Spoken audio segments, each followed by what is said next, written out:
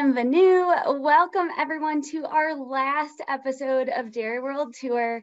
My name is Ann Lakuta. I'm one of the health and wellness managers at Dairy West, and I have had the pleasure of being your Dairy World Tour host over the past year. And today we have two fabulous guest speakers joining us again, Chef Michele Redmond and dietitian Mary Brighton. And they've invited us to join them for a French cooking party today, where we're going to learn all about French culture and cuisine. And then we're also going to join them for a virtual vacation to all of their favorite spots throughout France. So before I officially introduce Michele and Mary and share a bit of their background and, and they get to tell you their full stories, we are gonna cover a few housekeeping items just to make sure everyone has a wonderful experience today.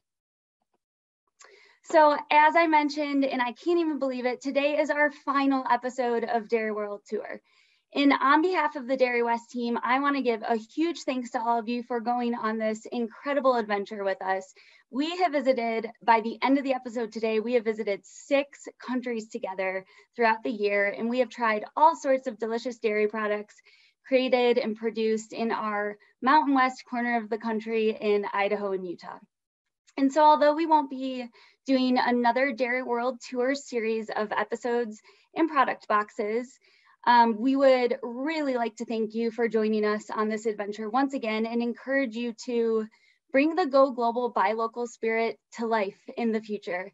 Continue to be curious, explore other countries, cultures and cuisines, and support your local farmers and local food companies by buying local products.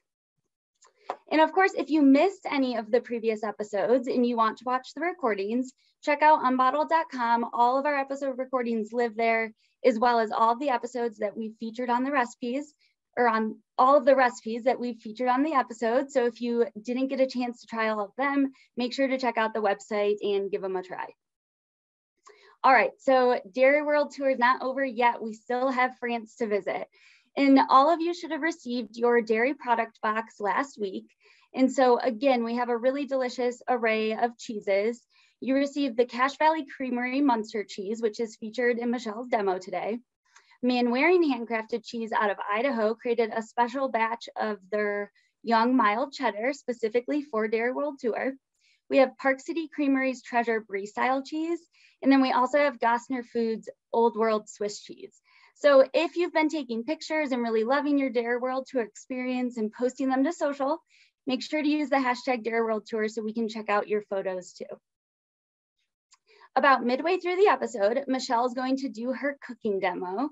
And so the featured recipe today is the roasted cauliflower gratin. So if you are cooking along with Michele, make sure to do your prep steps if you haven't already. You still have about 20 minutes to take care of those. So make sure to prep and measure out all of your ingredients, prepare Michele's homemade bechamel, which was another recipe that you received, and have all of your kitchen tools ready. And so we're gonna actually pop the recipe for the roasted cauliflower gratin into the chat right now, along with the bonus demo that Michele's doing, which is her fromage fort. So go ahead and open your chat and you should see both of those recipes there right now. And while you have it open, I also wanna encourage you guys to use the chat throughout the episode. We wanna hear from you. We want you to engage with Michele and Mary. And if you look at the bottom, you can notice that you can choose to chat with everyone that's on the call. Um, and if you have some friends and family members joining, you can choose to chat directly with one individual too. So again, use that, interact, engage, and have fun with it. Also ask your questions in the chat. We're going to be monitoring that chat throughout the whole episode. We'll collect the questions and then we've set time aside at the end for a Q&A. So we'll take those questions and pose them to Michele and Mary and get them answered for you then. And then during Michele's demo, we're going to actually be um, asking questions live. So if you have questions on any of the ingredients she's using or clarity on instructions, go ahead and ask them. I'm going to be watching the chat coming in live and I'll pose those questions to her in the moment to make sure um, you have all the clarity you need to cook along. Okay, so before I officially introduce Michele and Mary, we actually have a question for all of you. So you're gonna see a poll pop up on your screen in just a minute. And we wanna know what your experience with France is. Have you been to France before? On my bucket list, been there many times. Hey, maybe you've lived there just like Mary and Michele have. So go ahead, we'll give everyone 30 seconds or so to answer the question and then we're gonna share the results. Lots of responses are coming in, this is fun. All right, look at that. So a lot of people have not been there. It's on your bucket list. A lot of people once, and just just one person has lived there. So whoever's lived there, you should share your experiences with us in the chat throughout the presentation.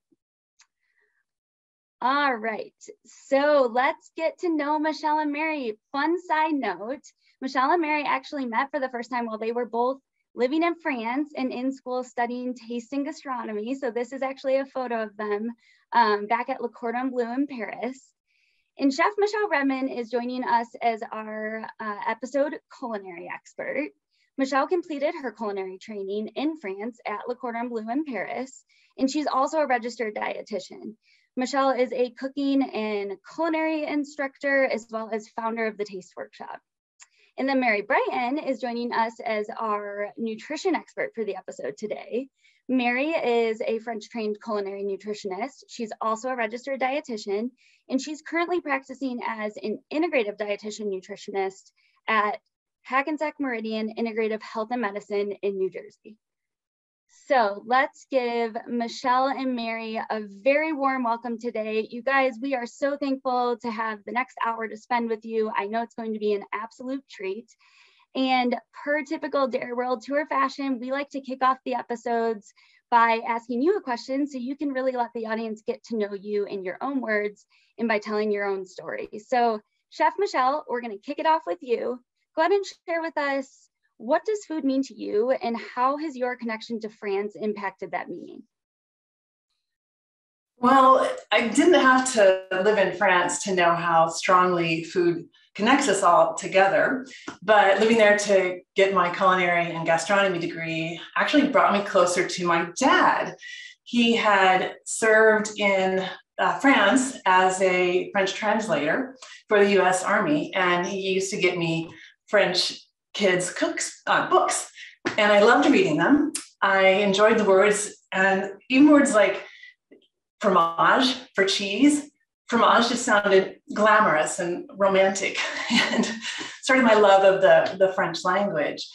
And it also helped me start to appreciate living um, and eating and enjoying it more like my mom did. And you might know somebody like my mom, somebody who nurtures and um, feeds her community and people. Maybe it's maybe it's you. And my mom used to have parties and meals and get-togethers for families and neighbors all the time. And I just watched that, how she would make bread every time a new neighbor would, would come in. And that was just her way of sharing and caring. So that's just something that I started to do and looking at food as bringing more vitamin L into your life, vitamin L as in love, the nutrient we all need more of. And my friend Mary taught me about vitamin G, which is the grounding vitamin to ground yourself. So, Mary, I'll ask you the same question Anne asked me. What does food mean to you? And how does your connection to France, how has it impacted that? Well, first of all, that's beautiful, Michele. But I, I think to answer that question, food talks to the emotional part of my soul. I think the person I owe this to is my grandmother, who emigrated from what was then Czechoslovakia when she was 12 years old to the United States. Um, she didn't have an easy life, but she, food for her was love and being kind of normal. And she would come to our house every weekend and spend the whole day cooking with my mom. And then we would have these delicious meals together that were just very peaceful and, and nice. Um, fast forward to moving to France, where I didn't speak a word of French except bonjour and au revoir. Um, but I really felt I could speak the language of cuisine and meals and emotion. Um, so I felt that that was a peaceful time for me as I trans, you know, started to be able to speak French more. And then now living back in the New Jersey since about five years, uh, I bring that emotion and feeling every night around the dinner table with my family. It's just, you know, 20 minutes, half hour when we eat and we eat with candles and soft lighting and music. And I try to encourage that mindful kind of emotional attachment um, that's beautiful with food. And I, I do feel that my, my family will carry that tradition on with them as they, as they get older. So I think we're ready though to start our virtual vacation. So.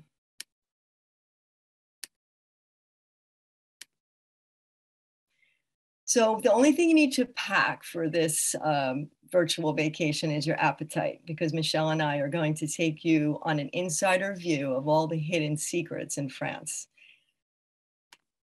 France is the largest country in the European Union and it is the most important agricultural producer.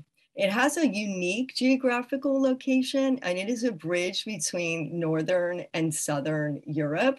It is bound on the west by the Atlantic Ocean and the south by the Mediterranean Sea and the mountain ranges of the Alps and the Pyrenees.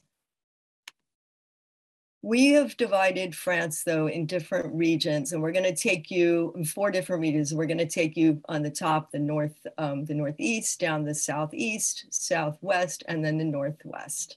But first, we need to. Oops, sorry. Let me just go back. Sorry about that. First, we need to give a little uh, background about the motto of France. So the motto is liberty, equality, and fraternity.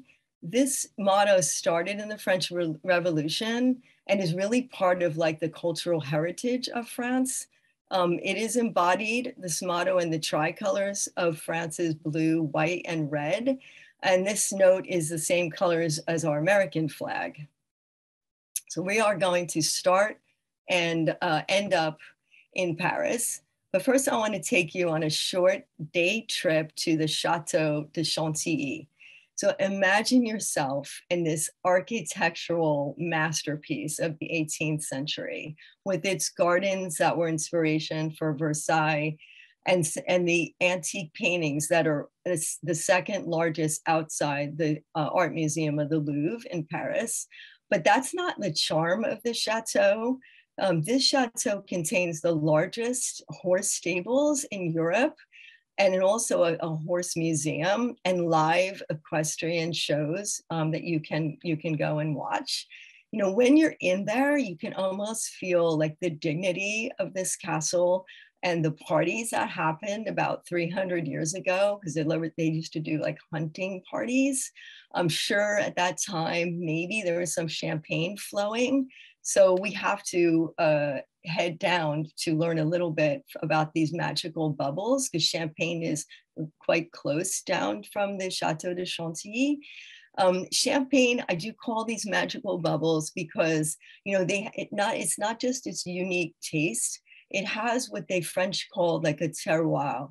So the, the, the taste and the bubbles are connected to the weather that's unique there, the chalky soil and the savoir-faire of, um, of Champagne. I can say that in drink, tasting these in some of the, uh, the Roman caves over there in the city of Reims, you know, you get a really feel of what um, is back, the background of this drink and what makes it so unique when we're in though, after a day of tasting, we, this is a, a, Gothic cathedral that's really dominating in the center of Reims. Just walk in, and what you can see at different times of day are the shimmering lights from the stained glass. And then, if you are a Marc Chagall fan like I am, he redesigned some of the windows in this cathedral in the 1970s. So it's a great look um, to walk in there and look at that but it is a Christmas season, and we need to head down to Strasbourg, which has the uh, oldest Christmas market since the 1500s, with about 2 million visitors that go every year. So it starts off in the main square of Strasbourg, but it trickles out into this, what they call the Petite France. So it's like a um, medieval buildings with their sloping roofs and open lofts.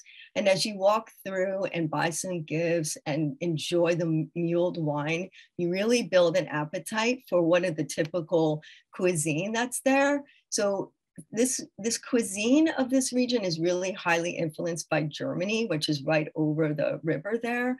Um, this is delicious. It's cooked like in an open fire, and it's um, a tart, a creme fraiche topped with some onions, lardon, and another cheese. Uh, and I like mine what's called forestier, which they means from the forest, and they put mushrooms on it. So it's a it's a great dish to discover when you're visiting Strasbourg. But another uh, scenic and historical area to visit near Strasbourg is the Burgundy region. So this region is known for its wine and its cuisine and probably a mustard that you all have in your refrigerator, Dijon mustard the best way to discover this is taking a week and renting a canal boat and just drifting along on one of these ancient waterways like the Saône River. You can stop along, um, uh, do some wine tasting, and discover cuisine like beef bourguignon, which is a, a beef cooked in Burgundy, or a coq de coq au vin. So Michele knows this is Michele's picture. Yeah. Yeah, Julia Child popularized this uh, French dish by substituting what was used, a rooster, for instead chicken. And it's cooked in red wine, and it's a lot of fun to cook, as you can see here from my flambe in my French cocotte. oh, and Mary, let me comment on the Mont d'Or, because it is my favorite piece. It is aged in the spruce wood and it's available only in the fall and the winter.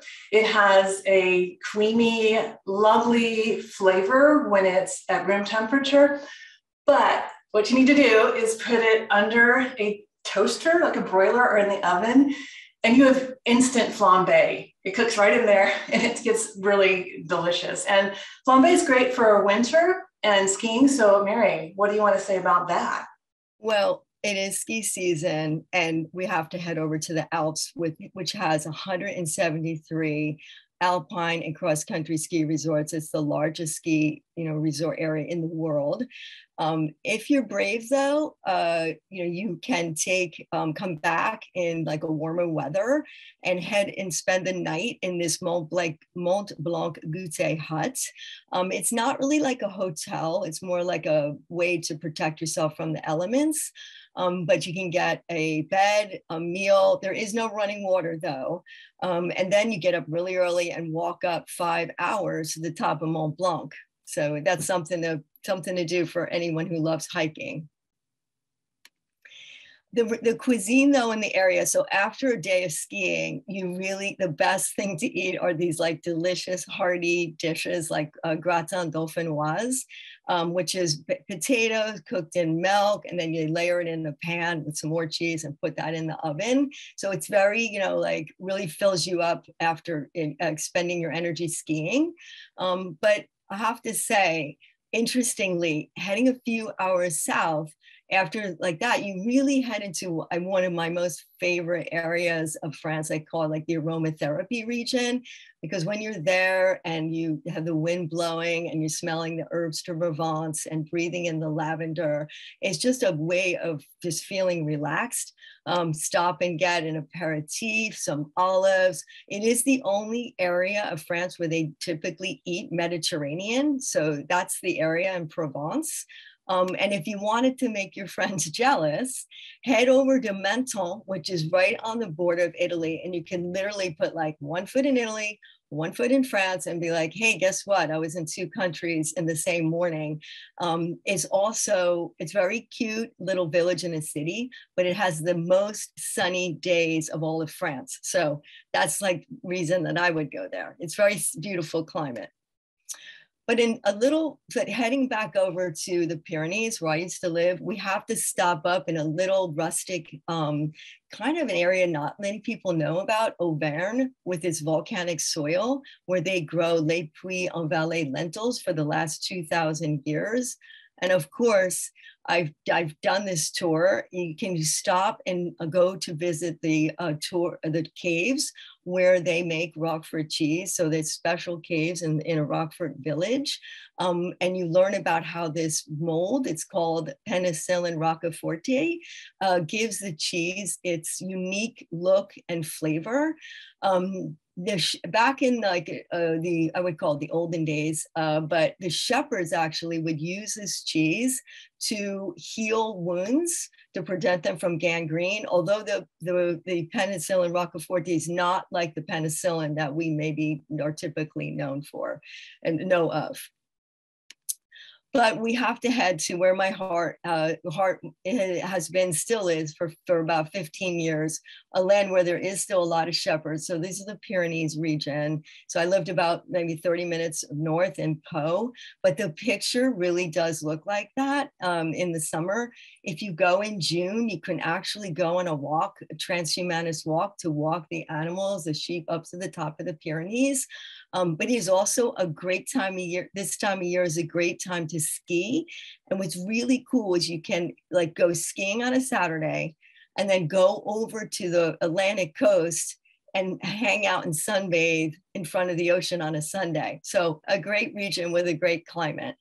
It's also a region where they have a lot of these like country dishes. So cassoulet um, is a dish that the recipe slightly changes depending on what city you're eating it in, but it's usually made with some kind of pork or duck um, for, and it's cooked for about 24 to 36 hours. And if you're lucky to have uh, a cassoulet made with these uh, holy grail of white bean called haricot tarbes, um, that these are just the treasure. They're grown like north, um, like so, like just north of Spain.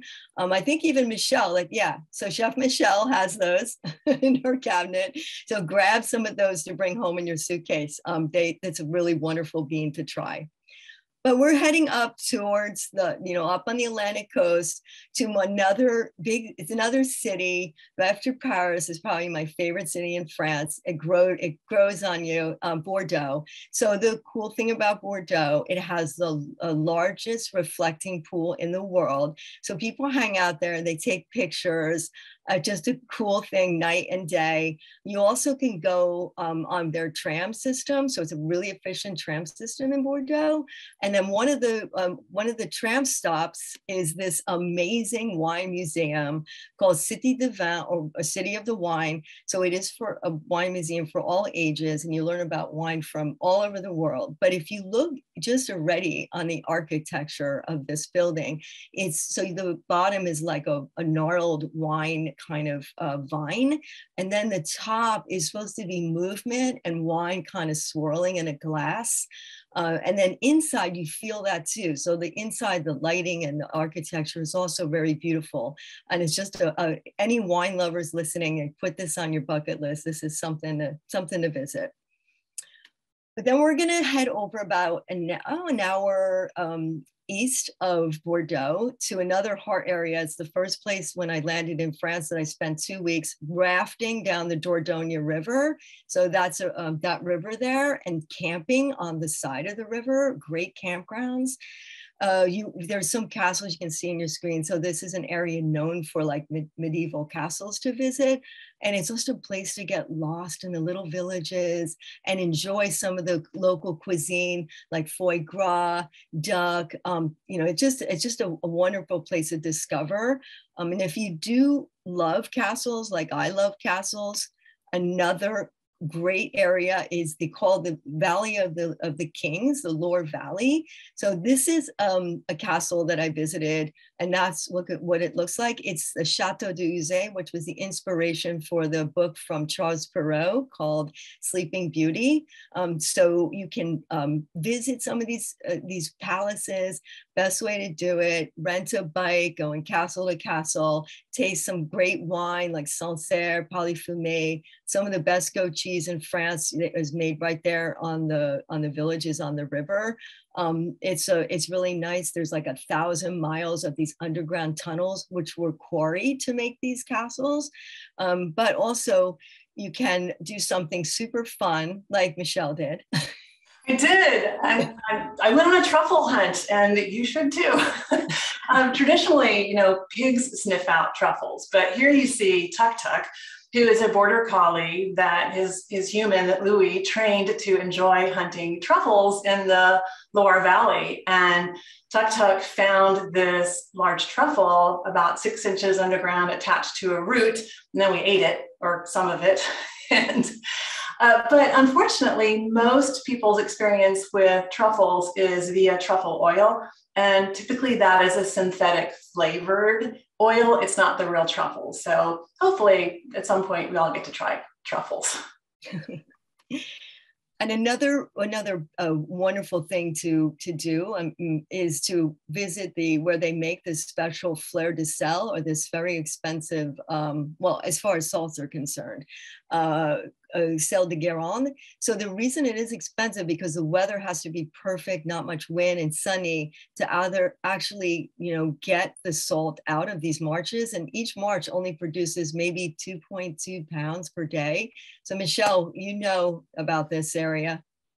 I did a salt tour, and you can do salt tours all throughout France because there are salt marshes distributed different places. But this was South Brittany, and the hardest thing was to try and hold the lousse de, de, a fleur, which is the big long rake. And it's, it's related to the salt bee crystals looking like flowers. So uh, fleur de sel, the crystal actually looks like a shape of a flower. So they take these huge rakes that are about 12 feet long and lightly scrape the top of the water. I couldn't, I couldn't even hold the rake, so I failed. Yeah, so right about south of Brittany though, but Brittany is another great um, region. It's it's like wild and wonderful. It's highly influenced from from Celtic uh, Celtic um, Celtic influences from the UK, but go to the uh, Point de Rasa, it's like the, the point that's actually the closest to America. I actually did that and said hi to my friends in New Jersey, but you know, it's a great region to discover. Also to, to the cuisine, love these like uh, these they call them the galette made with buckwheat flour and it can make them savory or or or sweet but savory is really nice to drink with cider. So wonderful wonderful region. Um, and as we head over to um, the one of my favorite spots I'm going to show you, you have to stop and pick up some seafood because that's Brittany is really well known, especially for its oysters. Um, but oops, I'm sorry. Yeah, but for its oysters. But we're heading up to now towards the um, Normandy region. And here's a little gem that I wanted to bring out to you. So Normandy has uh, Camembert, as you know, but um, they have these small producers that produce camembert that's like dictated by what they call appellation origine protégée, where the camembert has to be made a certain way. So the one I want you to discover, it's one that's made without uh, milk that's not pasteurized from certain cows that graze in, a, in an area um, and they're they have to be from this milk from these cows. So find a small producer and and really taste this uh, taste this cheese because I've had the the appellation origin protégé, and it tastes completely different than the, the camembert that you may know and buy. Um, so uh, that's really uh, something really great to do. But we're heading, uh, it's now what time? It is about, uh, oh my gosh, about 8.30 in Paris. So I, you know, I just wanted to leave you and say, that France, each region is really unique. You know, it has its specialties, it influences from its geographic location, you know, its savoir faire. But, you know, what is France? You know, it's not just Paris, but one thing about wherever you are in France is the way that the French eat. It's really highly based on conviviality, which is eating with other people. And it has a certain meal, you know, structure that I'll discuss, you know, at, with my part at the end. But um, I don't know. It's it's a great place, and I really hope that this tour has kind of you know influenced you to to put the France's on your bucket list. But no, Michele, Chef Michele, we're ready to join you for aperitif. What do you think? Excellent. Bienvenue chez moi. So welcome to my home and to our cooking party. And I can okay, I can I can see you now. Sorry. I want to see all you all of you here. So just the little boxes is just not quite enough. But Mary and I uh, often, when we invite friends over or relaxing before a meal with family, we often have aperitif time, which is a common ritual in France. And it includes a beverage and some nibbles. But the most important thing is that you get a chance to slow down. It marks a separation of your busy day with some time to prioritize relaxing with your favorite people. So the beverage is typically something light. It's not going to be something heavy. So I want to show you some examples of that. But I think first I need to to cheers to you all. So Mary, what is your favorite French cheers? I like chin chin. Chin chin's great, great. And I, I like uh, votre santé, or short, you could say santé, which is a cheers to your to your health. So we're gonna cheers to you all. Cheers to your health. So à votre santé. Excellent, Sheila. Sheila, bonjour, Sheila. and I see some of my friends, Sybil, uh, bonjour, Sybil, in, in France. We got some Paris people who are attending. So you might, might be an aperitif time for you now. but let me talk just a moment about the actual um, beverage. It's, you know, it's not like a heavy cocktail. It's not a red wine. It's typically going to be something light. Like I have here a French fortified wine that's a Lillet aperitif. I have a, a cassis, which is a black currant. And you see this in the Kir or Kir Royale uh, cocktails, which is well known. Or you might choose to do something non-alcoholic. You, there are so many wonderful bitters out now. This is an orange non-alcoholic bitter. This is a grapefruit ginger one. Add them to some sparkling water and you can have an aperitif that is lighter, maybe for a Sunday afternoon. And the, the focus is to not fill up on nibbles and uh, beverages. The idea is to just stimulate your appetite a little bit. You don't want to spoil your dinner. So typically you might have some very small nibbles put out initially. And here is an example of something that, you know, similar to what French friends have served to me, shared with me. So I've got some Marcona al- almonds, some little crackers with olives in them, and then I have some olives, cornichons, which are mini gherkins. I can't live without them. I always have at least a back of six of them in my pantry, and some little uh, sweetie drop peppers, red Provence, um, that you can get from Trois Poissons uh, brand. So you know, there's just something simple like that. I um, do have a book coming out on low stress entertaining and ways to bring friends and family together into know, sort of a low key happy hour or the aperitif. And I talk about also how to have shareable meals with people that, that look like uh, something simple that comes together that could be a happy hour, but it ends up being a meal. We do that in the US uh, sometimes on accident. in France, it's called an uh, uh, aperitif dînatoire. So it's a conscious effort at, at, doing a dinner that way based on sort of appetizers and, and bringing things together simply. So that is, that brings us to a couple cheeses. And uh, Mary, I'm going to say first that typically don't see uh, cheeses at an aperitif. Uh, on a, you know, when I've served that to friends, French friends, at first they were confused. You know, the first thing they see is cheeses because cheese is typically a main one of the main courses. But um, so just a comment about that. If you want to show, Mary said she had a cheese board, so I'll see Mary. Yeah. So um, love my love uh, the cheese board. Uh, I'll show you. I took the cheeses from the box. Let me just show you, and I just have have them out. I, I cut some of them in half and I have them out just on a plate with a with a knife. And then I included just a little cherry jam. So some people like to top it just with a touch of cherry jam. So that's you know my simple cheese board. Cheese board. And when you serve that uh, here in the U.S. with to friends after dinner, they're like, "Woohoo!" It's oh yeah, they totally love it. Love right. it. Yeah, they pat we pass it along, and it's the highlight of the of the dinner. To be honest. Excellent. Well, and I did want to mention that in the so one of the recipes you got was the spirited apricot brie. So the apricot jam had a little a little buzz going on, and the brie that this is the typical size that would is for written for the recipe. But we did get in our kits the Park Creamery brie style. So just get two of these and you'll be set for that. And we also got a the man wearing that Anne had mentioned, and this was made just for you all. So it is a very young, fresh cheese. And because of that, you might just only get some milky, buttery notes. But in order to really let it do its thing, I would, uh, if you haven't unwrapped it, keep it keep it wrapped because that's the best way to age a cheese. And I always like to say that age doesn't matter unless you're a cheese.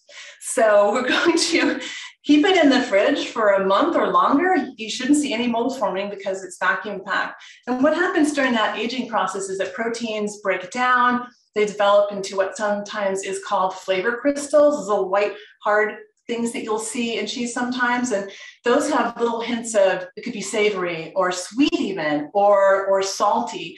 So those are nice things that have happen. And related to aging and making your cheese, let's talk about the first recipe. How does that sound?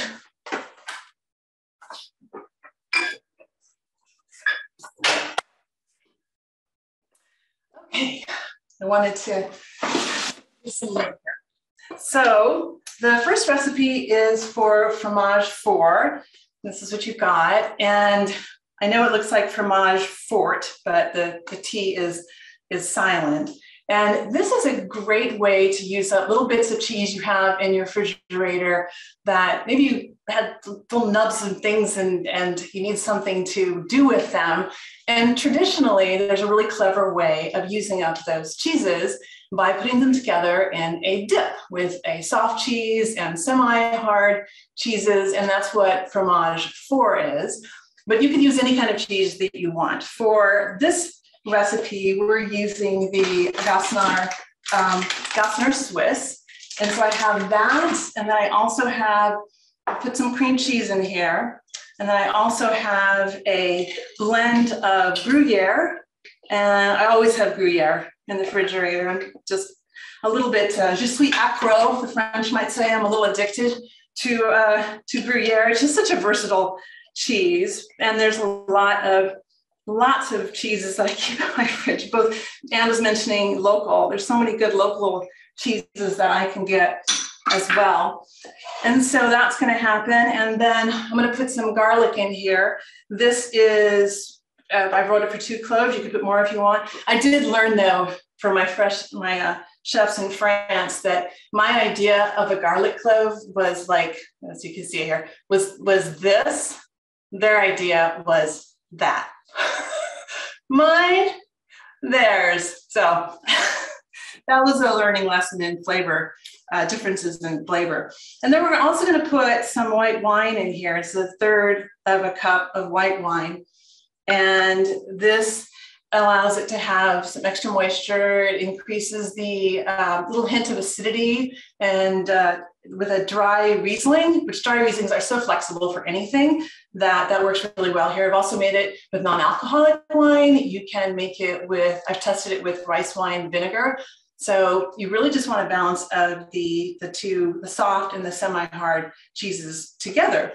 So why would you make this? I should have told you that first because it's so versatile. One, it's easy. Look, I mean, I didn't really even have to measure. Uh, so it's the easiest thing to throw together. But you can put it with, you know, it's a, it's a dip. So here's an example of it uh, being the role of a dip.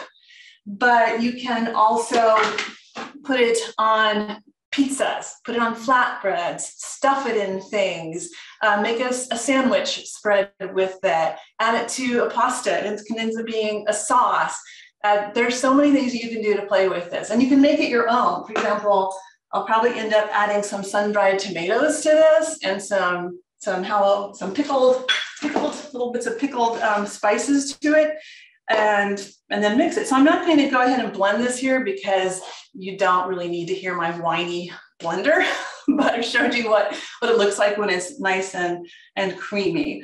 So that is one of my favorite things to um, have and, and use for many different things. Michele, is yes. it served best warm or cold? Elaine asked.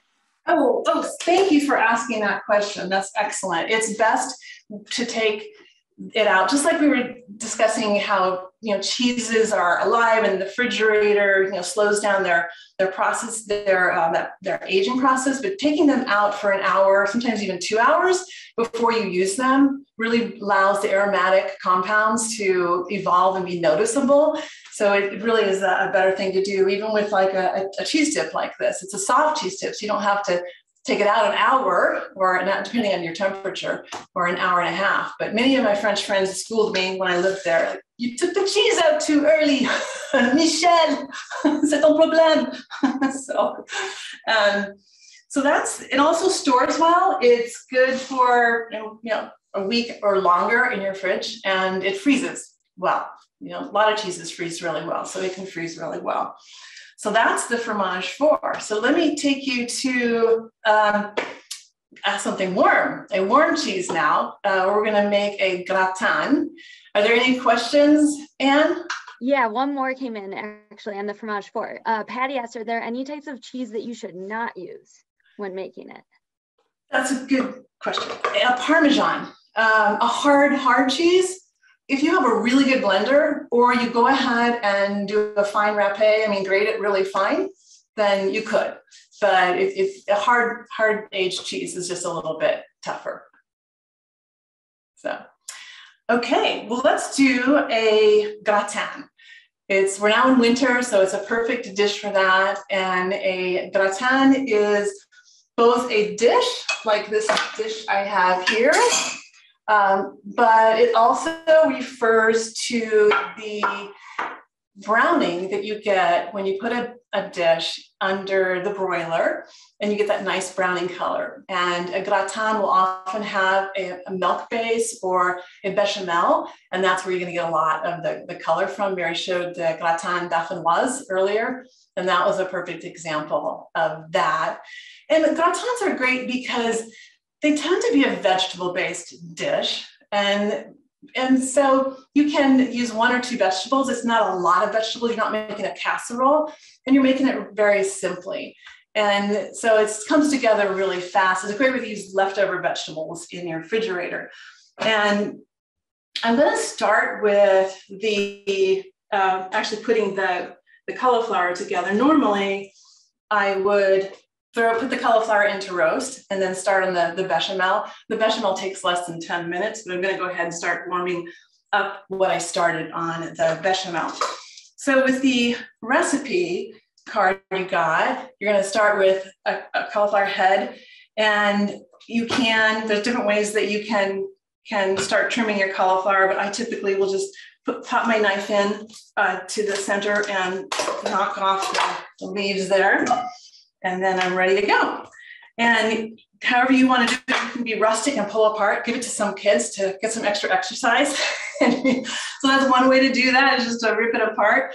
Um, or you can just go in here and cut the florets off. I do tend to keep a lot of the stem because I don't want to waste it. My buddy Sybil just just did a book on wasting, not wasting food while you're cooking.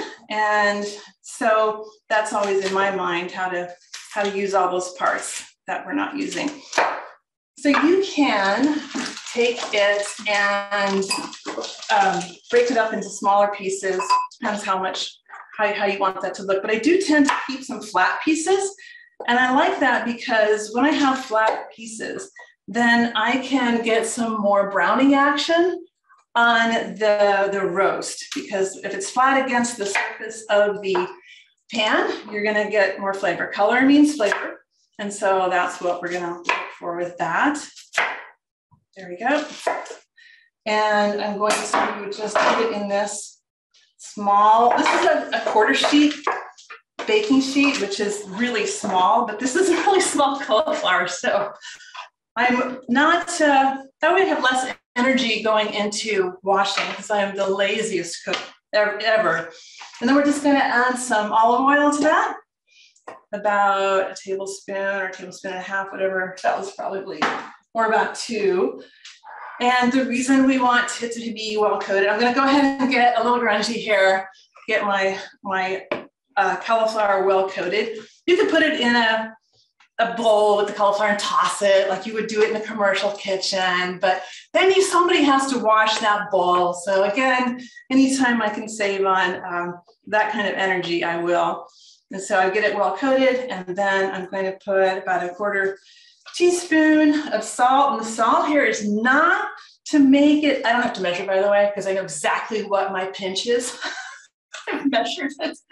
And now I don't have to take out a measuring teaspoon or wash it. So, um, so that's a quarter teaspoon of salt. But I don't, it's not there to make the, the cauliflower salty. It's there to make it have the natural flavors of the cauliflower evolve. So it tastes more like cauliflower. That is what salt does for vegetables. I've taught many classes on salt, and there are many cool ways to reduce salt intake. But with vegetables, oof, it's really so helpful. And that's that's what we do. We pop it in the oven for about 10 minutes um, and then check it. And then a total time about 18 to 20 minutes, depending on your oven. I do tend to start cauliflower on the bottom rack and then raise it to the top rack. It does depend on how thick your sheet is and your temperature, but that is um, a quick way to to get your cauliflower um, hot. Put it in the middle rack if it's if that's easier for you and you prefer to just keep it simple, whatever works for you. And so I have a roasted version of it right here. So I did that this morning. So you don't have to hear my loud convection oven. I'm, I'm really all about trying to save your ears today, my loud things. So the bechamel is a wondrous sauce. It is a white sauce that is super flexible. It has um, been around for over 300 years, yet we see it showing up all over the place still because of that. It's in, used in many cultures, in many comfort dishes, and it, it's one of those romantic sounding names, bechamel, that I think is glamorous. it's just a simple white sauce. But you in the US, we see it often in gravy or it's it's something synonymous with macaroni and cheese. So it's the basis of a lot of recipes. And I think that sometimes people have made it too fussy. It is really a hearty sauce. I am putting together, I've got here my roux, which is butter and flour, and I'm going to add some water to it. And I already started pre cooking this a little bit. So it's beginning to um, come together. And my recipe is a little bit uh, richer, or I should say, in terms of flour, it's thicker. Typically, the way to remember bechamel is 222 or 111. So you don't have to ever look at a, a cookbook. So it is, if you want two cups of bechamel, you're going to use two cups of milk, two cups of flour, I mean, two teaspoons, tablespoons of flour, and two tablespoons of butter. If I want to make one cup of bechamel, I'm going to use one cup of milk, one tablespoon of butter, and one tablespoon of flour. Really easy ratio. A little bit more our flour will make it thicken faster. And the idea behind um, cooking it until you see it sandy and you see bubbles because there's water in butter and the bubbles will evaporate, then that is going to get you um, the starch molecules begin to, granules begin to break down. And that allows them to absorb more liquid. And that improves the emulsification so that a bechamel can last a little bit longer. So that's the idea behind the bechamel. Any questions, Anne? So no questions yet. A lot of people saying they cannot wait to make this tonight. And if they're in Utah, we got a ton of snow today. So it's the perfect cozy, cheesy recipe to enjoy tonight. And then Lisa said something funny she, for the fromage fort. She said you can make it fromage très fort by including Limburger. I like that. That's great. the um, the the whisk for this I'm using a, it's kind of like a, a balloon whisk. I don't really need it in a saucier pan because a saucier pan has a nice curvy, you know, uh, bottom. Whereas if you have a more straight edged one, you might use something. I've got just a few little whisks here, my little whisk bouquet. so you might want to use a French whisk. This is a small French whisk that has a more narrow um, so it can get in the corners of, of the, the pan. Some people like to use a flat whisk for sauces like this. So that is, is there as well. And I'm gonna try and get this up to temperature a little quickly. But the um, other thing about the the bechamel is that it's a French mother sauce. It's one of the five French mother sauces. And then there are derivatives of it, which sometimes are called the daughter sauces. And so for this dish, we start with the bechamel, but then we're going to add the Cache Valley Munster cheese. And it is unusual to put sliced cheese in a dish, but this is what they had, and it, it smells lovely and it's got a nice texture. It's a melting cheese, so it does work great for this. Now, I will point out that Munster in France, uh, in, France, uh, is not doesn't have an e in it and it is a cheese that monks made.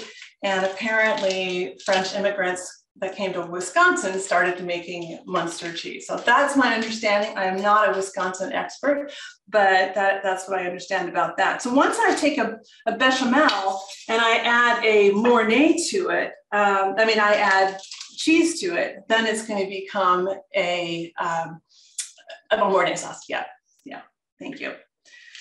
And that's, I'm still waiting for my, I'm using a burner I don't usually use. And another thing is that people often say, oh, you have to, you have to use more milk to get a bechamel together. And, and, and really it's just having room temperature milk is, is all you, you really need. Um, and that, that just that just is quicker. That just allows the starch mo molecules to come together faster. So that is that's all we're gonna do. And I just wait for about 10 minutes or less. Sometimes it takes it's done in about six minutes.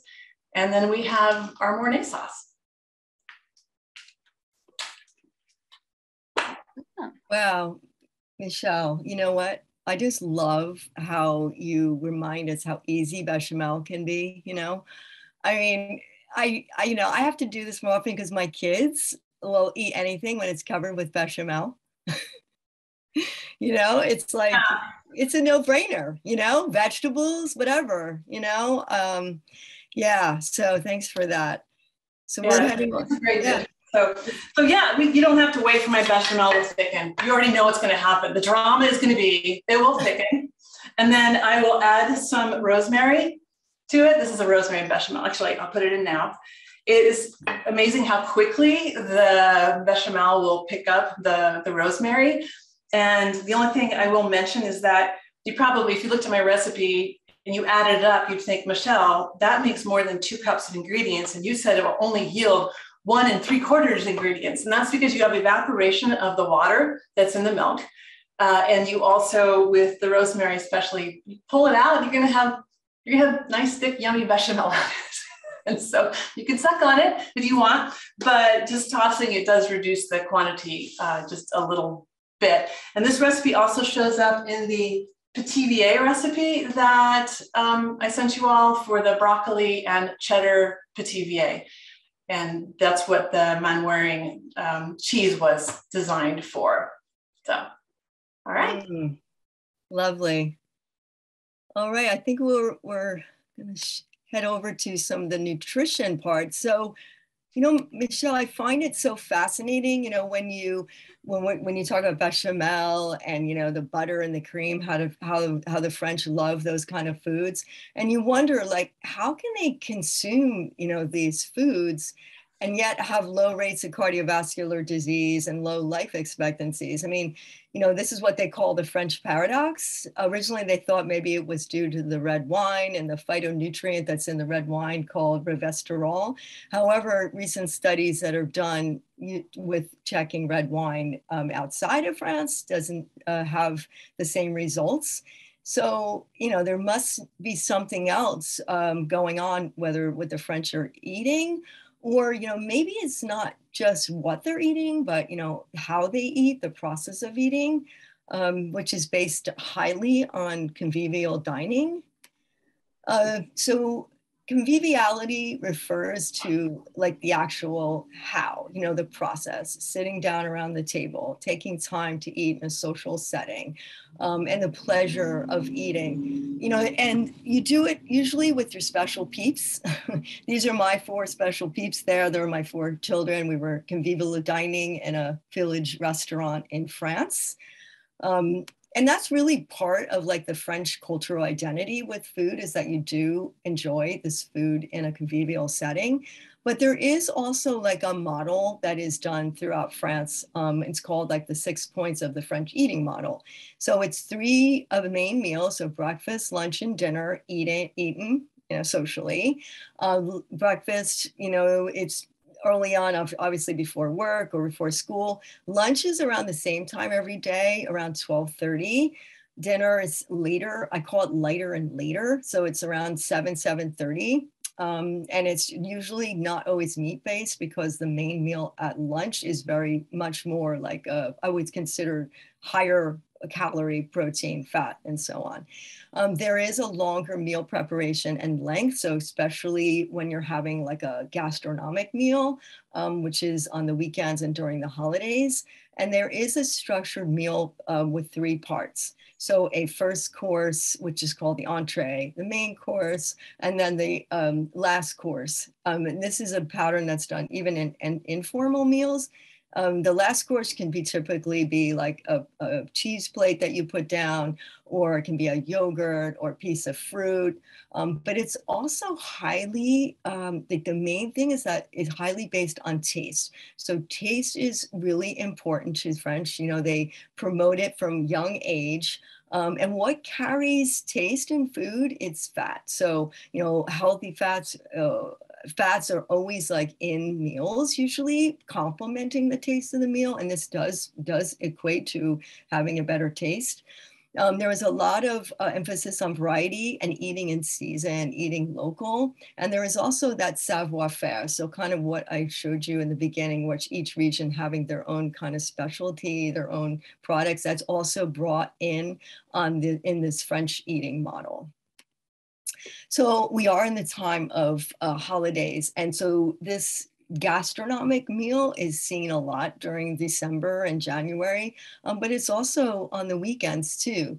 And it starts off with an aperitif. So Michele uh, talked a little bit about the aperitif. It's usually an hour, an hour and a half. It's not done at the table. It's done in a different location, maybe in front of the fireplace. Then you go and sit down um, around the table. You bring, this first course starts. There's a wine that matches. Then you have that goes away. Have the main course again with a different wine, maybe. Then you have the cheese course, um, dessert, and a digestive. So that's like a um, it might be what they call eau de vie or a brandy. It's like a very strong alcohol that's uh, drunk in very small quantity at the end of the meal to help the digest. Um, and I have to say, I'd love, you know, this thing where matching the the, the meal with the wine. Like I, I also, you might have gotten your um, wheel in the mail. I love this. I use this. Uh, so you can you can really look and see like, okay, I'm having this cheese. What what what kind of wine goes well with it? There's a great online version too that I use unbottled.com slash matchmaker, which has like also beers that match with cheeses and cider. So it's a great, like great little resource. And it's really, really fun, I think think I think it adds to the taste when you match when you're matching your food with your with your beverages. Um, so food is always a celebration, even informal meals. But that gastronomic meal actually is a protected a culture by UNESCO, which is like a United Nations educational um, uh, uh, protection protection, and it started in 2010. So that pattern is now known, like in the world, as this is what the French do during their gastronomic meals.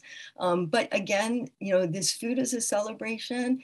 It's done every day. Like I told you, with I sit down with my family and we have this 20 minutes every night, a half hour of enjoying a meal. It's a type of celebration that that you do every day. Um, but the French, you know, so I have to really talk to you about, you know, French cheese. Like there's more varieties of French cheese than there are days in the year, believe it or not. It is served after the main dish. Um, I, I, showed you the cheese plate, but for example, uh, even an informal meal, it would go in the center of the table, or like if you're having a gastronomic meal, or I have my dinner parties that I call Paris Bistro night, I have the cheese plate handed to a guest and they hold it uh, for the next guest, cut a piece or two, and it just goes around the table like that. And that's that's just really fun. And then, like I said, if you want to do that, um, you know, start that habit around your home, I promise it will be. Oh, it's a really big hit. Uh, typical dairy foods. So some of them you know, but I'll, I'll, highlight a few that you may have not heard about. So creme fraiche, it's a type of sour cream. Um, and then you, you know, yogurt, but fromage frais. So that is also uh, like a fermented um, milk, but it's not, it's it's not like yogurt. There are live cultures, but they add rennet in it. So it makes it like a curd in a way. Um, to be called fromage frais, it has to have live cultures. But if you stop the fermentation process, then you have fromage blanc. But these things like fromage frais and fromage blanc, they're really nice, like for dessert too. Um, people have it for breakfast. So they're just like a, I don't know, like a soft kind of cream cheese. But if you're over there visiting, definitely put these on your menu because they're great. They're really great to try. Um, so the French paradox, you know, I don't, I don't think it's the wine. It, it, some of it might be the wine, but I, I really think it's, you know, how uh, the French just take time to do the convivial eating um, and just, uh, you know, enjoy the meals. Um, probably some of the uh, the nutrients too, um, based on you know variety. Uh, um, you know, eating local. Um, that's also really important there. You know, going to the market and buying your food at the market. So all that is combined. You know, really shows that the French have this really good longevity and aging well. Um, that's you know still connected to eating things like butter, cream, and dairy and bechamel. Um, so the, the French, though, do, did re- recently in 2019 kind of revamp their dietary guidelines. I, I love them. I'll show you I'll show you what they look like on the next slide. But the main uh, points of it is they want to promote French food and culinary heritage. They also want to decrease food insecurity so that everyone has the right to have good quality food. And they educate the population about food and taste. And they have adopted, it's not like the food label that we see here in America necessarily, but they label uh, a nutrition label on on foods, and um, it'll say like A, B, C, D, E, and the higher the higher uh, letters mean that there's less nutrition in that food. So people are getting used to have those foods less often. So the French uh, dietary guidelines, uh, this, this one I'm showing you here is for French adults. So uh, for pregnant women and children, these will be published probably this year. It's what is anticipated. But I really like it because um, it's simple. Um, you can see, so augmenter on the left, they want to increase fruits and vegetables of any kind, frozen, um, but increase fruits and vegetables, increase things like beans, chickpeas, increase nuts, um, uh, and non-salted nuts. Uh, La Fait Maison over there, so increasing home cooking. And French uh, guidelines are now saying that you need to be moving for 30 minutes every day, like brisk walking you want to go towards, so that's the middle aisle, you want to go towards eating things like pasta, rice every day, but include like whole grain sources. Um, they also recommend having a like a fatty fish and a, a, a, like a lean fish twice a week. So one one time fatty fish like salmon, and one time like lean fish like cod. Uh, also encouraging things like walnut oil, which is a great oil uh, to get in your pantry. So walnut oil, rapeseed oil, which we know is canola, olive oil, and then including things like butters and olive oil also in moderation. Um, twice a day for dairy products eating in season and if you can to eat organic and then we want to reduce alcohol consumption sugared beverages sugared products salt products Charcuterie is about five ounces a week, meat um, about a pound a week, and then decreasing uh, high intakes of foods that have Nutri-Score D and E's or their less nutritional value, and also decreasing the time sitting and being on screens. You can go to the website Manger Bouger. Uh, there you can hit Google Translate. is a great site for like recipes. Um, it's in the references, so go on there and take a look on, on some of the things that you know are in that website. because There's some really great recommendations. So to explore more, you can go and look at some of the studies that I put in about, about how the French eat and relationship to, to health. And then um, to, to uh, uh, connect with us uh, more, more. You can connect with Michele at the Taste Workshop or Instagram website. And then she is having that upcoming cookbook. So go on there today and click in to get that VIP, the first chapters of her great cookbook that she is um, she is producing. You can connect with me on my email there, my Instagram, or um, my website also. Mary and Michele, I mm-hmm. honestly just want to say, wow, that we could not have asked for a better last Dairy World Tour episode. And we have some wonderful questions that have rolled in. So I'm going to go ahead and, and kick it off with those. Um, first one we'll start with. So one of our attendees asked, and I love this question, what does the workday look like to allow time for cooking and eating these amazing meals? What does the work workday in France typically look like? Hey, that's a great question. Uh, if you don't mind me, uh, it's, it's okay, but I hope it's okay, Michele. So the workday is um, starts around eight and ends around six thirty. But what's so during the week, you know, the, you're not eating a gastronomic meal. What you do is, um, if you're at work, you would tend to, you know, stop for an hour and enjoy a meal. So a lot of work environments now have a cafeteria, or you go to a restaurant. Uh, typically, you go home, so you have this long break.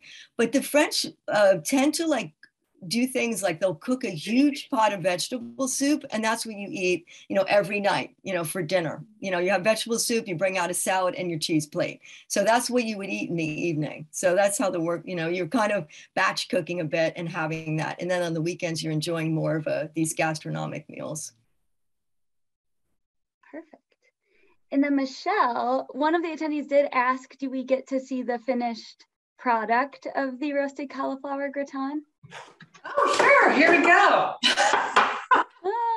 Since you're asking, let me just give it a little stir. I put I put some of the Munster in it, and this is a double batch. So I don't know if you can you can see, but oh, look at that nice thick sauce, a little bit of cheese. I'm gonna throw the the rosemary in there too, and I'll take it out later. So voila. So Tien. oh, it's beautiful. I would probably, you know, distribute it a little bit better. And then I'm going to just put it under the broiler to get it much darker and get some crispy, you know, tops that taste extra flavorful. So thanks for asking. I did want to mention, because somebody said that they had made the Pithiviers and added mm-hmm. thyme. I think it was Marge.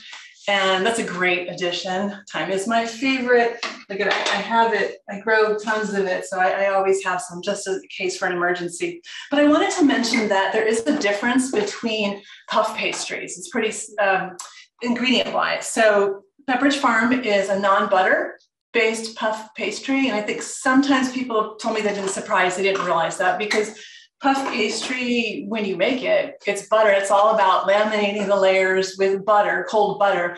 But the Pepperidge Farm is non-butter based. So it's um, very different in terms of the flavor and some of the textures you get. It is a, a great product for many things. It's just different then um, here's just a Trader Joe's. I'm not pushing any brands, by the way.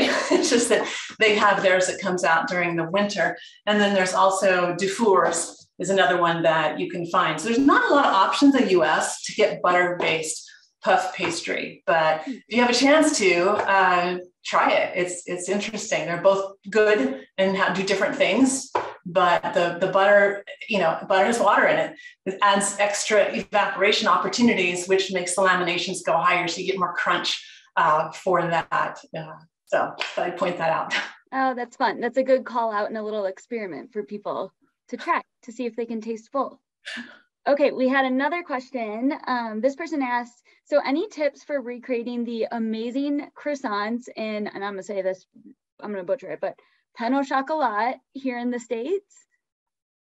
I know a great bakery.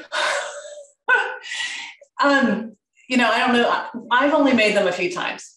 So I am not a baking expert. I have zero patience or limited patience for, for baking. So I'm, I don't know, Mary, if, if you've done a, a, lot, but I mean, one of the things I can tell you from the chef friends I have that do wonderful uh, uh, croissants here in the state, cold butter. You have to constantly keep it cold. You have to keep your counters cold. And also getting a low water uh, percent butter. So French butter is going to have a much lower water percent than unsalted butter here um, that you often buy, unless it's specially made for that. We have, um, I think it might be John that said, do you need help eating all that? Yes, he's available. And then let's do, so I have another question here. Um, Vandana asked, so she has a lot of, she's a dietitian, has a lot of vegetarian clients that she counsels for, and she's loving to learn more about the difference between animal rennet and microbial rennet. If either of you have any thoughts or knowledge to share on that. I, I don't. I mean, I haven't researched which, why it's used in some places and others, and if there's limitations that would be what I'd be interested in, but I don't know the answer to that. Yeah, great question. I, I don't know the answer to that either. Okay. Yeah. Well, we'll all have to do a little research. Yeah. yeah. yeah one, wonderful question, Vandana. Um, and then one more, you guys, and then everyone that's on the line, hang on, because we have our Dairy World Tour raffle and recap video. Um, but this question was about the fromage frais, I think it was. So Mary, you had mentioned it's um, kind of can be like a curds and whey sort of situation. Is it like a cottage cheese or not, not at all? Okay. No, that's a great question. No, it's not like a cottage cheese, but um, you know, you you you you do see the curds but it's not like the big curds that you would say it's very subtle um but very yeah so it's very nice so it's not like eating cottage cheese no okay Mm-mm. we'll have to keep our eyes mm-hmm. out for it to try it well ladies if if you haven't looked at the chat everyone is saying thank you oh my gosh this dish is delicious they've had a wonderful time today learned so much so nothing but amazing compliments in the chat, and I have to echo it. You both have given us a wonderful presentation. It's been so much fun, such a great experience. Um, thanks to everyone that joined us today and is on the line. And we have our final giveaway for Dairy World Tour. So we have a wonderful um, French themed gift basket per recommendations from Michele and Mary. So included is a three piece cheese three piece cheese knife set, a mini gratin dish set, a French rolling pin, a French baking dish, and a Dairy West cheese board. So Mary Michele, I'm gonna ask you, can I have a drum roll, please? We're gonna announce the winner live. Yes. All right, congratulations, Lisa Howard. You're the winner of the giveaway today. Um, we'll grab your information after the episode and we'll send you your gift box. And again, I know Lisa. She's an IACP. Wonderful. Well, you guys, you know, can't say it enough. Thank you so much for joining us, Mary Michele. Again, this was absolutely wonderful. Everyone on the line, we hope you have thoroughly enjoyed your Dairy World Tour experience. We know that we did. And carry on the Go Global, buy local concept, um, keep exploring, keep buying local products And we have one final recap video for you. So enjoy it and have a great day and happy holidays.